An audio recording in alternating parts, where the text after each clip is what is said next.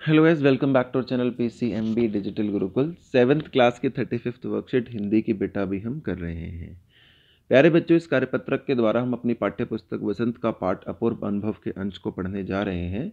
इस अंश में हम जिनकी बात करने जा रहे हैं, वह हैं तोतो चाँद और याशो की चाँद तोतो चाँद एक बहुत अच्छी बच्ची है, जिसने अपनी दोस्त याशो की चाँद को अपने पेड़ पर चढ़ने का निमंत्रण दिया। दिव्यांग होने के बावजूद भी वह अपने पेड़ पर चढ़ने के सपने को पूरा करना चाहता है। आइए देखिए क्या होता है। मैं यशु के चाँद को अपने पेड़ पर चढ़ने देने वाली हूँ, उसने बताया। जब तोतो चाँद स्कूल पहुँची तो रेल के पास, उसके गले, रेल पास उसके गले के आसपास हवा में उड़ रहा था। यासु के चाँद उसे मैदान में कारियों के पास मिला। गर्मी की छुट्टियों के कारण सब सूना था। यासु के चाँद उससे कुल जमा एक ही वर्ष बड़ा था, पर तोतो चाँद को वह अपने से बहुत बड़ा लगता था। जैसे ही यासु के चाँद ने चोचो चाँद को देखा वह पैर घसीटते हुए उसकी ओर बढ़ा।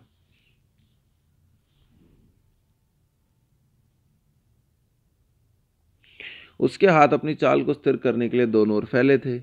तो तो चाँद उत्तेजित थी। वे दोनों आज कुछ ऐसा करने वाले थे जिसका भेद किसी को भी न पता था। वे उल्लास में ठिठियाकर हंसने लगी और यासु के चाँद भी उसके साथ साथ क्या होने लगा? हंसने लगा। और तोता चाँद जो था, वो बेचारा बहुत परेशान भी था, क्योंकि वो चल नहीं पा रहा था। ठीक है? तो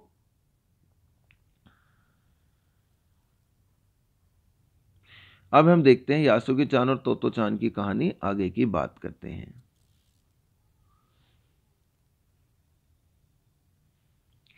यासुकी चाँद को सब सोना क्यों दिखाई दे रहा था? यासुकी चाँद को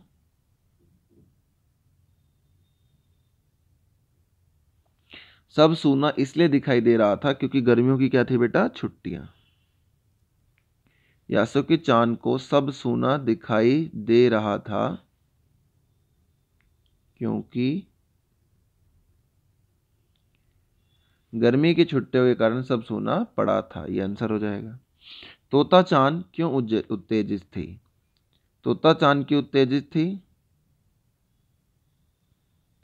क्योंकि वो कुछ ऐसा करने वाले थे जिसका भेद किसी को भी नहीं पता था। यासु के चाँद ने अपनी चाल को स्थिर करने के लिए क्या किया? तो उसने अपने दोनों हाथों को क्या किया बेटे? फैला लिया। थर्ड फोर्थ क्वेश्चन वह लास्ट में ठिठियाकर हंसने लगी। यहाँ ठिठियाकर हंसने का क्या मतलब है? यहाँ ठिठियाकर हंसने का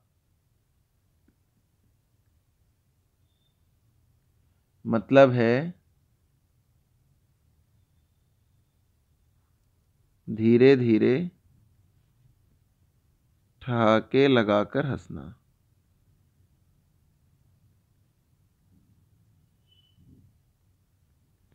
रेल किस भाषा का शब्द है? आपने किसी एक रेल यात्रा के अनुभव के बारे में लिखें।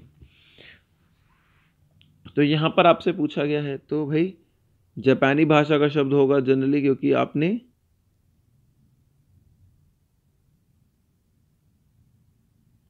जापानीज स्टोरी पढ़ी है और फिर आपको एक कॉमन सी बात बतानी है खाली कि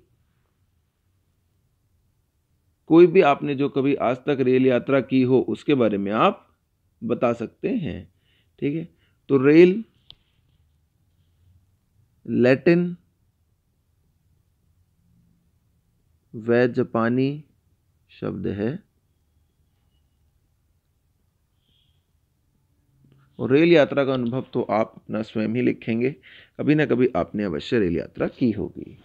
और ज़्यादा वर्कशीट्स और वर्कशीट्स जानने के लिए, करने के लिए आप हमारे चैनल पर प्लेलिस्ट देख सकते हैं के से टेंथ क्लास तक की सभी इंग्लिश हिंदी मीडियम्स की। यूट्यूब टेलीग्राम के थ्रू आप हमसे जुड़ सकते हैं फेसबुक के थ्रू जुड़ सकते हैं मेल और वेबसाइट के थ्रू भी व्हाट्सएप के थ्रू आप अपनी क्वेरीज हम तक पहुँचा सकते हैं। Thank you so much for watching the video friends please subscribe to channel keep supporting us